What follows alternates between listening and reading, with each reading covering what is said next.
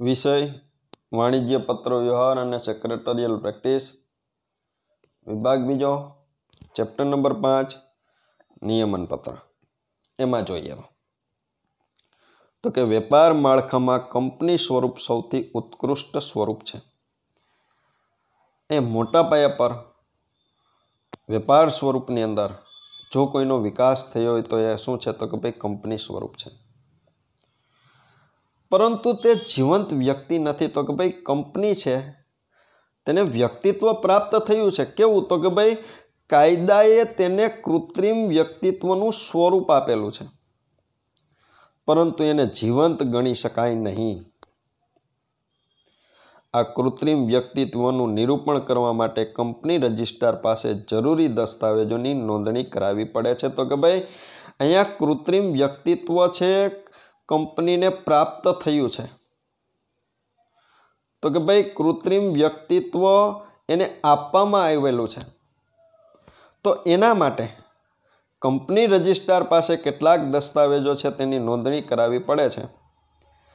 તો કે ભાઈ, આ દસ્તાવેજોની અંદર આપણે જોઈએ તો આવેદનપત્ર એ અગત્યનો દસ્તાવેજ છે. આના અગાઉના ચેપ્ટરની અંદર આપણે આવેદનપત્ર વિશે અભ્યાસ કરેલો હતો.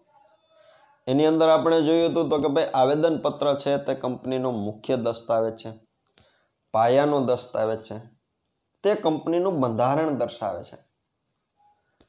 અને એની અંદર કંપનીની કલમો દર્શાવેલી હોય છે તેવો આપણે ત્યાં અભ્યાસ કરેલો હતો. એટલે કીધું છે તો કે ભાઈ આવેદનપત્ર છે એ કંપનીનો અગત્યનો દસ્તાવેજ છે, બીજો દસ્તાવેજ એ નિયમન પત્ર છે. તો અહીંયા આપણે ચેપ્ટરનું નામ આપેલું છે તો કે ભાઈ નિયમન પત્ર તો કે ભાઈ નિયમન પત્ર છે.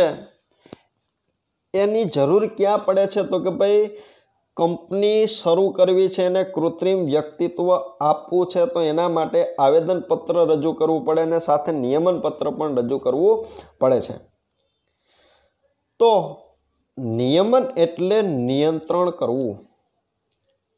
તો કે ભાઈ નિયમન પત્રની અંદર અહીંયા બે શબ્દ છે, તેને જુદા પાડેલા છે. તો કે ભાઈ પેલો શબ્દ કીધો છે, તો કે ભાઈ નિયમન. તો કે ભાઈ નિયમન એટલે શું? તો કે ભાઈ નિયંત્રણ કરવું. અથવા તો શું કહેવાય? તો કે ભાઈ નિયમો નક્કી કરવા.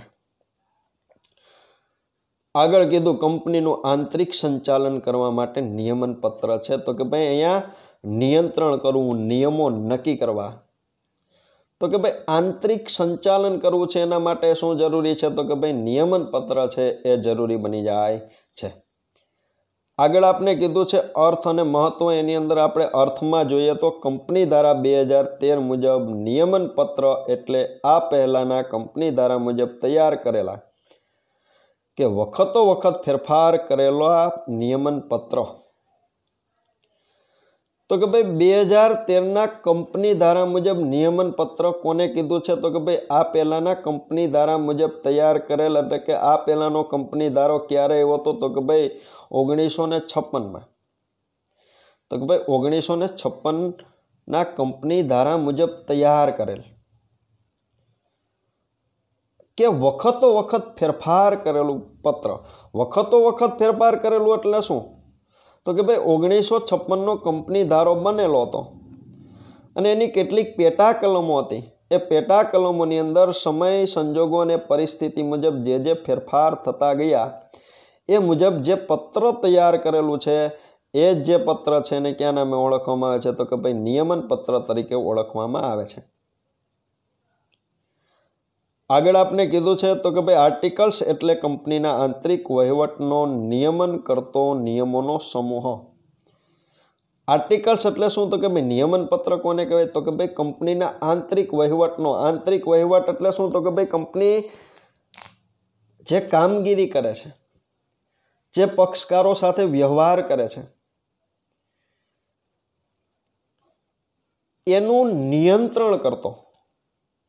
અને એના નિયમોનો સમૂહ એક પ્રકારના નિયમો દર્શાવતો.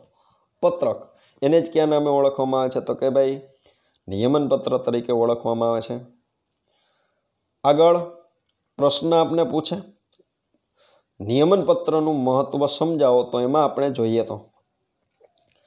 તો કે ભાઈ, આર્ટિકલ્સથી કંપનીના આંતરિક વહીવટના નિયમો નક્કી થાય છે. આર્ટિકલ્સ એટલે કે નિયમન પત્રથી કંપનીના આંતરિક વહીવટના નિયમો એટલે કંપની રોજબરોજને માટે જે કાર્ય કરે છે, એના માટેના નિયમો શેનાથી નક્કી થાય છે તો કે નિયમન પત્રથી એ નિયમન પત્રની જોગવાઈ કંપની ધારા અને આવેદનપત્રની જોગવાઈની વિરુદ્ધ ન હોઈ શકે. અહીં આપણે કીધું છે તો કે ભાઈ નિયમન પત્રની અંદર જે જોગવાઈ નક્કી કરવામાં આવેલી છે નિયમન પત્રની અંદર જે બાબતો છે એ નક્કી કરવામાં આવેલી છે. એ કેવી હોઈ શકતી નથી? તો કે ભાઈ એની અંદર જે બાબતો દર્શાવેલી છે કંપની ધારાની વિરુદ્ધ હોઈ શકતી નથી અને આવેદનપત્રની વિરુદ્ધ પણ હોઈ શકતી નથી. એટલે કે આવેદનપત્રની જોગવાઈઓ નિયમન પત્રને બંધન કરતા છે, તો કે આવેદનપત્રની અંદર જે બાબતો દર્શાવી છે, જે જોગવાઈ દર્શાવેલી છે, એ મુજબ કંપનીએ નિયમન પત્રની અંદર જે તે બાબતો છે, જે તે નિયમો છે એ એણે દર્શાવવા પડે છે. અહીં કંપની સાથે કામ પાડ પાડનાર દરેક વ્યક્તિને નિયમન પત્રની જોગવાઈની જાણ હોવાનું અનુમાન કરવામાં આવે છે. એ કંપની સાથે લેતી દેતીનો વ્યવહાર કરનાર, કંપની સાથે સંબંધ ધરાવનાર પક્ષકાર. એ દરેક પક્ષકાર છે, તેણે નિયમન પત્રનો અભ્યાસ કરેલો છે અને કંપની સાથે એણે વ્યવહાર કરેલો છે, એવું કાયદો છે, તે હું માની લે છે. મેમોરેડમ એ મેમોરેડમ એટલે શું થશે? તો કે આવેદનપત્ર એ કંપનીનો પાયાનો દસ્તાવેજ છે. જ્યારે નિયમન પત્ર આવેદનપત્રની મર્યાદામાં રહીને આંતરિક વહીવટ ચલાવવાના નિયમો નક્કી કરે છે. એ મુખ્ય દસ્તાવેજ. પાયાનો દસ્તાવેજ શું છે? તો કે ભાઈ મેમોરેડમ એટલે કે નિયમ આવેદનપત્ર. પણ નિયમન પત્ર શું છે? તો કે ભાઈ જેને આવેદનપત્રની મર્યાદામાં રહીને તૈયાર કરવામાં આવેલો છે. એની મર્યાદામાં રહીને તૈયાર કરેલો છે સાથે તો કે ભાઈ આંતરિક વહીવટ ચલાવવાના નિયમો. તો કે ધંધાકી એકમ છે. એણે રોજબરોજનો વહીવટ કઈ રીતે કરવો એ માટેના નિયમો છે એ નિયમન પત્રની અંદર દર્શાવેલ હોય છે. તો નિયમન પત્રનું મહત્ત્વ છે એ આપણે જોઈએ તો પ્રશ્ન છે આપને ત્રણ માર્ક્સની અંદર અથવા તો પાંચ માર્ક્સની અંદર પૂછે, શું પૂછે તો કે ભાઈ નિયમન પત્રનું મહત્ત્વ સમજાવો. એમાં નંબર એક આપણને આપેલ છે, એમાં જોઈએ તો, રોજબરોજના વહીવટમાં ઉપયોગી. એમાં કીધું છે, તો કે ભાઈ આવેદનપત્રમાં દર્શાવેલ કાર્યક્ષેત્રની મર્યાદામાં રહીને યોગ્ય વહીવટ અને સંચાલન માટે જરૂરી નીતિ નિયમો દર્શાવવામાં આવે છે. તો કે ભાઈ આવેદન પત્રની અંદર કંપનીનું કાર્યક્ષેત્ર દર્શાવેલ છે. એની મર્યાદામાં રહીને, એટલે કે એની ઉપરવટમાં જવાનું નથી. એની મર્યાદામાં રહીને, કંપનીનો યોગ્ય વહીવટ અને યોગ્ય સંચાલન માટે, કંપનીને ચલાવવા માટેના નીતિ નિયમો છે નિયમન પત્રની અંદર દર્શાવવામાં આવે છે, જેના આધારે કંપનીનો રોજબરોજનો વહીવટ ચાલે છે. તો કે ભાઈ નિયમન પત્રને આધારે કંપની છે, એનો રોજબરોજનો વહીવટ ચાલે છે. શા માટે? તો કે ભાઈ, રોજબરોજને માટે એની જે કામગીરી છે, એના માટેના જે નિયમો છે, શેમાં દર્શાવેલા હોય છે? તો કે નિયમન પત્રની અંદર દર્શાવેલા હોય છે. નંબર બીજો કીધો સેક્રેટરી માટે મહત્વનું. શું? તો કે ભાઈ નિયમન પત્ર એમાં કીધું, તો કે ભાઈ નિયમન પત્ર સેક્રેટરી માટે ખૂબ ઉપયોગી છે. કઈ રીતે? તો કે ભાઈ, કંપનીના રોજબરોજના જુદા જુદા શબ્દોનું અર્થઘટન. શબ્દોનું અર્થઘટન એટલે શું? તો કે ભાઈ, અહીંયા કંપની છે, રોજબરોજને માટે જે શબ્દો ઉપયોગ કરે છે, એ શબ્દો છે એને વ્યાખ્યાયિત કરવામાં આવેલા હોય છે. શેમાં? તો કે ભાઈ નિયમન પત્રમાં શા માટે? તો કે ભાઈ, એ જે બાબત, એ શબ્દ જે બાબત દર્શાવવા માગે છે, તેનું ત્યાં સ્પષ્ટીકરણ થઈ શકે. દાખલા તરીકે આપણે ધોરણ અગિયારની અંદર પહેલું ચેપ્ટર જે આપેલું છે, એની અંદર પારિભાષિક શબ્દો આપેલા છે. એ શું દર્શાવે છે? જેથી આપણે શબ્દોથી માહિતગાર થઈ શકીએ. તો કે જુદા જુદા પક્ષકારો છે, જે તે શબ્દોથી માહિતગાર થઈ શકે એટલા માટે અહીંયા કેટલાક શબ્દોનું અહીંયા અર્થઘટન કરેલું છે, વ્યાખ્યાયિત કરેલા હોય છે. એ શેરની વહેંચણી કેવી રીતે કરવી? શેરની વહેંચણી એટલે શું? તો કે ભાઈ કંપનીએ શેર બહાર પાડેલા છે. અને કેટલાક વ્યક્તિઓ છે એ પોતે શેર ખરીદવા માગે છે. શેર ખરીદવા માગે એટલે શું થશે? તો કે ભાઈ વિજ્ઞાપન પત્ર દ્વારા કંપનીએ જાહેર જનતાને શેર ખરીદવા માટે આમંત્રણ આપેલું હશે જાહેર જનતાએ શેર ખરીદવા માટે અરજી કરેલી હશે. હવે જેટલા શેર બહાર પાડેલા છે એના કરતાં વધુ અરજી આવેલી હોય તો કંપની છે, દરેક વ્યક્તિને કેટલા શેર આપશે? અથવા તો એના માટે દરેક વ્યક્તિને શેર વહેંચણી માટેની નીતિ નક્કી કરશે અને શેરની ફાળવણી કરશે. તો કે ભાઈ, આવેલ અરજીના સંદર્ભમાં અરજદારોને શેર આપવા એને શેર વહેંચણી કહેવામાં આવે છે. તો કે ભાઈ, શેર વહેંચણી કેવી રીતે કરવી? શેરના હપ્તા કેવી રીતે મંગાવવા? તો કે ભાઈ નિયમન પત્રની અંદર આ બાબતનો ઉલ્લેખ કરેલો હોય છે. આ બાબત માટેની જોગવાઈ નક્કી કરેલી હોય છે. આ માટેના નિયમો નક્કી કરેલા હોય છે. તો કે ભાઈ કંપનીએ જે શેર બહાર પાડેલા છે, એની રકમ કંપની એકસાથે મંગાવતી નથી. હપ્તા સ્વરૂપે મંગાવે છે. તો કે હપ્તા કેવી રીતે મંગાવવા શેરની જપ્તી. તો કે ભાઈ કોઈ વ્યક્તિએ કંપનીના શેરની ખરીદી કરેલી છે અને તે વ્યક્તિ છે હપ્તાની રકમ ચૂકવતી નથી. તો એના માટે કંપની છે એ વ્યક્તિના શેર જપ્ત કરશે તો કે ભાઈ એ માટેના નિયમો.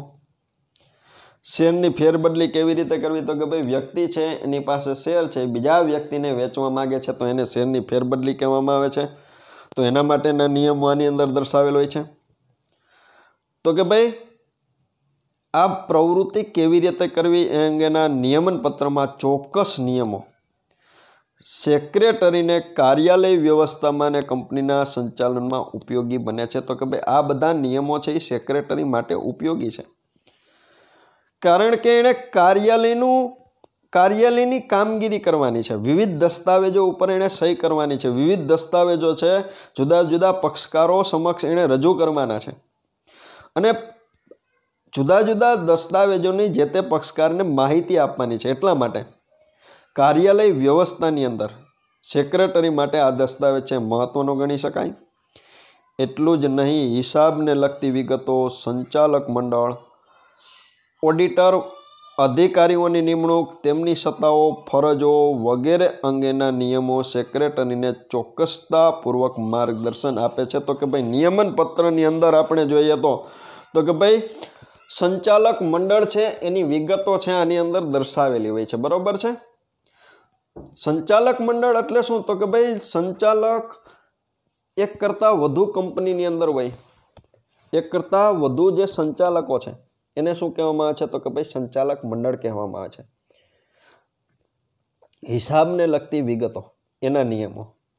સંચાલક મંડળ અંગેના નિયમો. ઓડિટર એટલે કે હિસાબોની ચકાસણી કરનાર વ્યક્તિ, એ માટેના નિયમો. અધિકારીઓની નિમણૂક કરવી છે, એ માટેના નિયમો. ઓડિટર હોય, સંચાલક હોય, એ બધા વ્યક્તિઓ છે. તેમની સત્તાઓ, એમની ફરજો વગેરે અંગેના નિયમો છે. એ સેક્રેટરી માટે ઉપયોગી બની જાય છે. નંબર ત્રીજો કીધો છે શેર હોલ્ડરો માટે ઉપયોગી.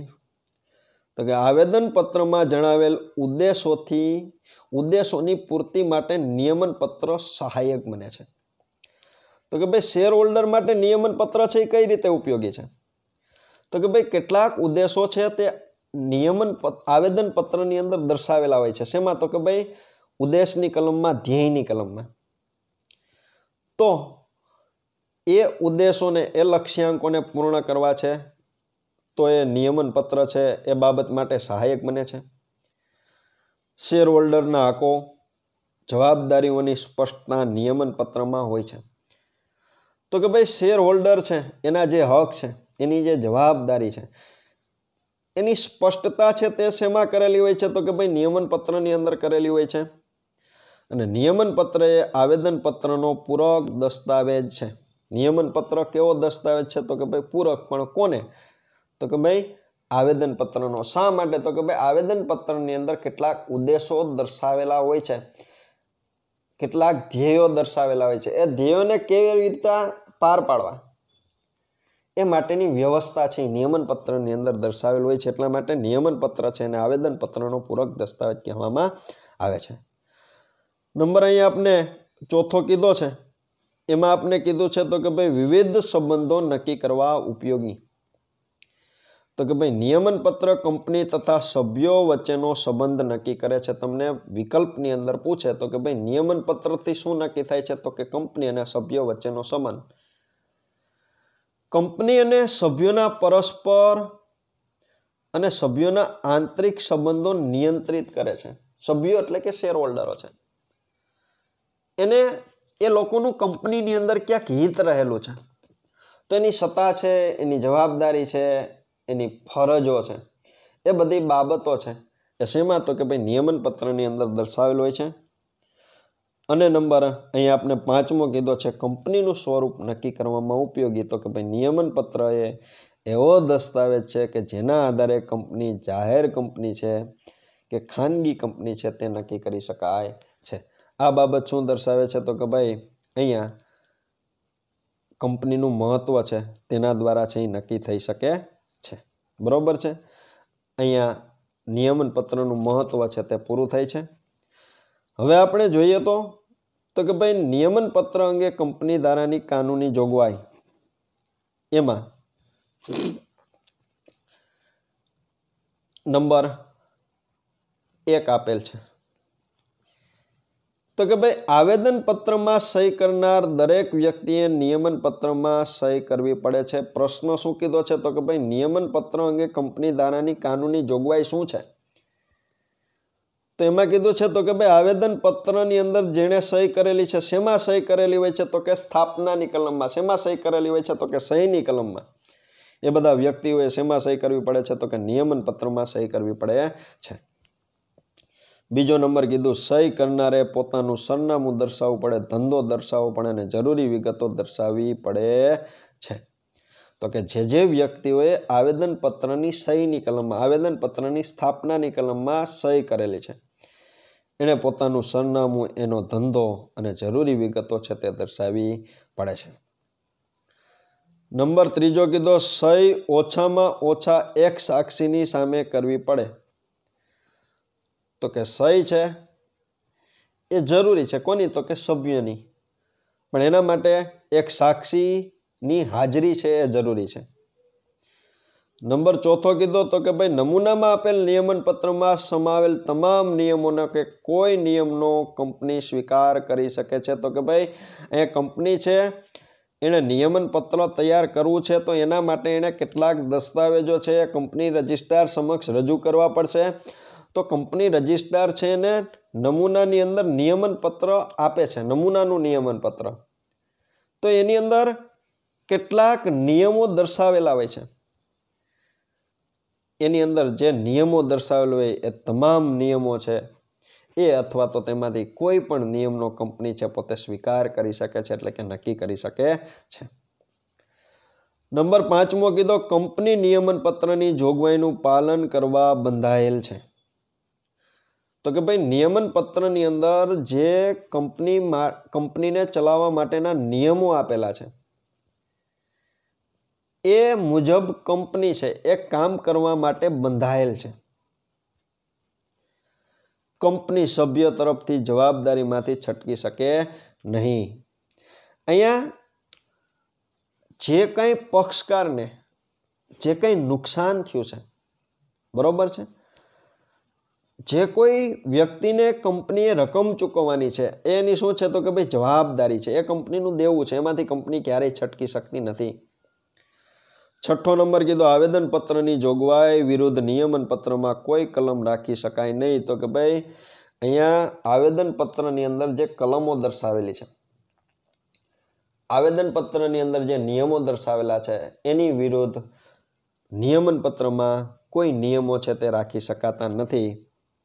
નંબર સાતમો, ખાનગી કંપનીએ તેના નિયમન પત્રમાં નીચેની ત્રણ વિશેષતાઓ છે તે દર્શાવવી પડે છે. એ પ્રશ્ન આપણે બે માર્ક્સની અંદર અલગથી પૂછે, શું પૂછે તો કે ભાઈ, ખાનગી કંપનીએ તેના નિયમન પત્રમાં કઈ વિશેષતાઓ દર્શાવવાની હોય છે? તો એમાં આપણે નંબર એક કીધો છે એ. તો કે ભાઈ, કંપનીની સભ્ય સંખ્યા ઓછામાં ઓછી બે. અને વધુમાં વધુ બે બસો રહેશે. તો કે ભાઈ, ખાનગી કંપની છે તેની સભ્ય સંખ્યા કેટલી? તો કે ભાઈ, ઓછામાં ઓછી બે છે ને વધુમાં વધુ તો કે ભાઈ બસો. બીજો નંબર, શેરની ફેરબદલી ઉપર નિયંત્રણ મૂકવામાં આવશે? તો કે ભાઈ, શેરના ખરીદ વેચાણ, ફેરબદલી એટલે ખરીદ કરવી, ખરીદી કરવી અને વેચાણ કરવું. એના ઉપર પણ શું રહેશે? તો કે ભાઈ, નિયંત્રણ રહેશે. ત્રીજો નંબર કીધો, કંપની પોતાના શેર ખરીદવા અંગે જાહેર જનતાને આમંત્રણ આપી શકશે નહીં. તો કે ખાનગી કંપનીએ પોતાના શેર બજારની અંદર બહાર પાડવા છે. તો એના માટે પોતે આમંત્રણ જાહેર જનતાને આપી શકતી નથી. આઠમો નંબર કીધો, કંપની સાથે સંબંધ ધરાવનાર વ્યક્તિને નિયમન પત્રની જાણ છે તેમ કાયદા પ્રમાણે માની લેવામાં આવે છે. આવી કોઈ પણ વ્યક્તિ નિયમન પત્ર અંગે કંપનીની ઓફિસમાં આવી તપાસ કરી શકે છે અને જરૂરી ફી ભરી નકલ પણ મેળવી શકે છે. એ કંપની સાથે સંબંધ ધરાવનાર, કંપની સાથે વ્યવહાર કરનાર હરેક વ્યક્તિ છે નિયમન પત્રથી પરિચિત છે. એની જાણ છે. એવું કાયદો છે ને માની લે છે. શા માટે કાયદો માની લે છે? તો કે ભાઈ, હરેક વ્યક્તિએ જેણે કંપની સાથે વ્યવહાર કરેલો છે વ્યક્તિ કંપનીની રજિસ્ટર ઓફિસે આવી અને નિયમન પત્રની તપાસ કરી શકે છે. અને જરૂરી ફી ભરી અને એ માટેની નકલ પણ પોતે મેળવી શકે છે. નવમો નંબર કીધો, કંપની ધારાની જોગવાઈને આધીન, આવેદનપત્રની શરતોને આધીન, ખાસ ઠરાવ પસાર કરીને પોતાના નિયમન પત્રમાં ફેરફાર કરી શકે છે. તો કે ભાઈ નિયમન પત્રની અંદર ફેરફાર થઈ શકે છે, પણ કઈ રીતના? તો કે ભાઈ, કંપની ધારાની જોગવાઈ મુજબ ફેરફાર કરી શકાય. આવેદનપત્રની શરતો મુજબ ફેરફાર કરી શકાય. ખાસ ઠરાવ પસાર કરીને ફેરફાર કરી શકાય. ખાસ ઠરાવ એટલે કે ભાઈ પંચોતેર ટકા બહુમતીથી બરાબર છે? એટલે કે જે મતદાન થયું એમાંથી પંચોતેર ટકા જે બાજુ નિર્ણય આવે એ મુજબની શરતો નક્કી કરીને ફેરફાર કરી શકાય છે.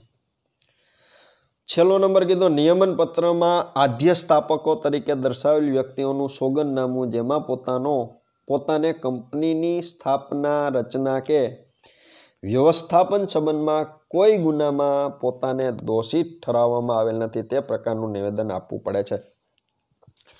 અહીંયા નિયમન પત્રમાં આદ્ય સ્થાપક તરીકે દર્શાવેલ વ્યક્તિઓ. આદ્ય સ્થાપક એટલે કોણ? તો કે જે જે વ્યક્તિઓએ સહી કરેલી છે. બધા વ્યક્તિઓને આદ્ય સ્થાપક કહેવામાં આવે છે. તો કે એણે એક સોગંદનામું રજૂ કરવું પડે છે. કેવું સોગંદનામું? તો કે ભાઈ સ્થાપનાની અંદર રચનામાં કે કોઈ હોદ્દા ગોઠવવાની અંદર, કંપનીનું વ્યવસ્થાપન કરવાની અંદર એને ગુનેગાર ગણવામાં આવેલ નથી. એની ઉપર ગુનો થયેલો નથી એવું એણે એક નિવેદન છે એ રજૂ કરવું પડે છે. અહીંયા પ્રશ્ન પૂરો થાય છે. હવે આપણે જોઈએ તો તો કે ભાઈ નિયમન પત્રની અંદર કઈ કઈ વિગતો છે તે દર્શાવવામાં આવે છે. એની અંદર આપણે જોઈએ તો એમાં આપણને કીધું છે કે પહેલો નંબર કીધો છે નિયમન પત્રમાં આવરી લેવામાં આવતી વિગતો જો પ્રાથમિક કરારો થયા હોય તો તેનો સ્વીકાર કર્યો છે કે નહીં એ વિગતો દર્શાવવાની. એ પ્રાથમિક કરાર. અહીંયા કંપની જ્યારે શરૂ થઈ છે ત્યારે જે બધા કરારો થયેલા છે કોની સાથે? તો કે જે તે વ્યક્તિઓ સાથે, સંસ્થાઓ સાથે? એ બધા કરારો પ્રાથમિક કરારો કહેવાશે, પહેલાંના કરારો કહેવાશે. એનો અહીંયા સભ્યો દ્વારા સ્વીકાર થયો છે. ક્યારે સભ્યો દ્વારા સ્વીકાર થયો હોય તો કે ભાઈ પહેલી સભા યોજાઈ એમાં? જો થયો છે કે નથી થયો, એ બાબતનો નિયમન પત્રની અંદર ઉલ્લેખ કરવામાં આવે છે. બીજો નંબર કીધો, શેરની સંખ્યા અને તેની દાર્શનિક કિંમત તો કે ભાઈ કંપની છે, એણે દસ હજાર ઇક્વિટી શેર બહાર પાડેલા છે. દસ હજાર પ્રેફરન્સ શેર બહાર પાડેલા છે. તો કે ભાઈ આને શું કહેવાય? તો કે આને શેરની સંખ્યા કહેવામાં આવે છે. આ કેવા શેર કીધા છે? તો કે ઇક્વિટી શેર આ કેવા શેર કીધા છે? તો કે ભાઈ પ્રેફરન્સ શેર અને તેની કિંમત તો કે ભાઈ શેરની કિંમત શું રાખી તો કે દસ રૂપિયા રાખી છે. શેરની કિંમત શું રાખી તો કે દસ રૂપિયા. એ બાબત અહીંયા દર્શાવવી પડે છે.